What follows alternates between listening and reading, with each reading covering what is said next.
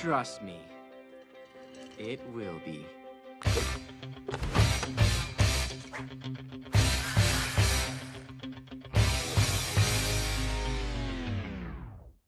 Nothing. No ideas. Useless, empty brain.